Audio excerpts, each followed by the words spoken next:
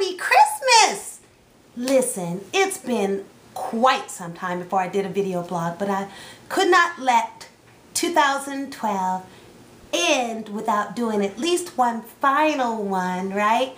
And wish everybody season's greetings, happy holidays, happy Kwanzaa, Feliz Navidad, happy winter solstice, uh, Merry Christmas, etc., etc. Whatever you celebrate, however you celebrate, I wish you much love from my house to yours. I'm Epiphany. This is my video blog called Where I'm At. And where I've been is busy because I have not done a video blog for a minute. And um, I try to keep them positive. And if I don't have anything good to say, I try not to say anything at all because it is my um, belief to not spread funkiness into the universe, to only try to bring a little bit of joy. That being said, I'm full of joy and I hope you are too on this wonderful Christmas Eve here December 24th, 2012. It is delightful.